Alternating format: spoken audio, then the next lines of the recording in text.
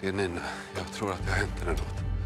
Hon är försvunnen. Som anhörig så får du inte jobba med det här. Tror du att du kan stoppa honom? Det vad du gör efter arbetstiden det ber jag mig inte om, okej? Jag kan ju se att du vet vad det är som har hänt. Du måste berätta, snälla! Är de estryssar de jobbar så här stort i Sverige, då är det Karaja, den ryska maffian i Estland. Jag är påskriven på måndag och betalar en lösensumma. Vi kommer hitta henne.